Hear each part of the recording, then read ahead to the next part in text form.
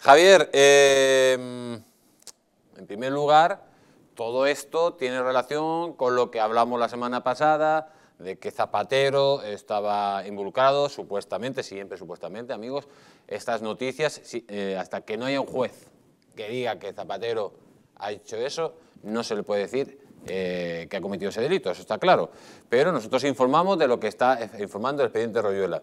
En, esta, en esto tiene relación con la semana pasada, que hablamos de que Zapatero estaba involucrado en la muerte de cuatro personas, y ahora sale otra carta del expediente Royuela en la cual eh, dice que Zapatero pues ordenó la liberación de este angelito. Eh, señor Villacorta, estamos hablando de Asimos, que, era el rey del tráfico de, menores y de, prostitutas, ¿no? Bueno, eh, el personaje, claro, nosotros es imposible que conozcamos a, toda esta gente de la que se habla.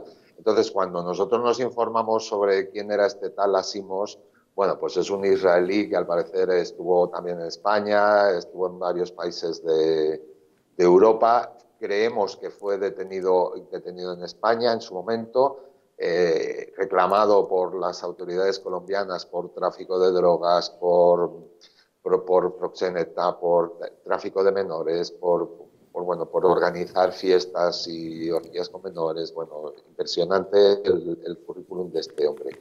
Y aparece Zapatero, eh, que presuntamente, como tú dices, le habría ordenado a Mena que hiciera las gestiones necesarias para que a este personaje se le pusiera en libertad.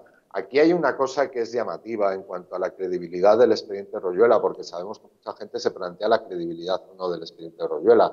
Eh, es lo de siempre. ¿Quién iba, ¿Quién iba a conocer a este personaje antes de que lo sacaran en los Royuela aquí en España? Pues probablemente en su momento viéramos la noticia, pero por supuesto ya no nos acordaríamos ni el nombre ni del nombre. Y cuando en su momento Santiago Royuela adelantó que iba, que iba a colocar o que iba a sacar a un personaje relevante, muy relevante dentro del expediente Royuela, pues creemos que es Zapatero porque últimamente sale todas las semanas.